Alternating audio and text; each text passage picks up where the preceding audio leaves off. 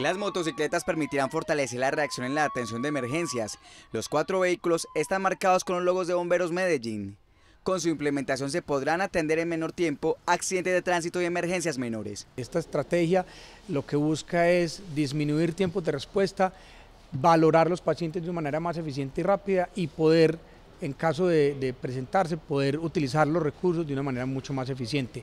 Lo que buscamos es atender el paciente con mayor prontitud. Las motocicletas con un cilindraje de 125 centímetros cúbicos están dotadas con un cajón en aluminio, sirena y un botiquín de atención prehospitalaria como collar cervical, inmovilizadores de miembros superiores e inferiores, tensiómetro y elementos para reanimación cardiopulmonar. Tiene como propósito salvar vidas. La idea es eh, esta alianza con el municipio de Medellín se trata inicialmente de cuatro motocicletas que estamos entregando totalmente dotadas con el equipo de atención prehospitalaria pero a lo mismo hemos hecho en los municipios de Envigado, La Estrella, en Bello, en Itagüí y en Sabaneta. Las motos de emergencias no buscan reemplazar las ambulancias, por el contrario buscan mejorar la oportuna atención a los hechos que se presentan.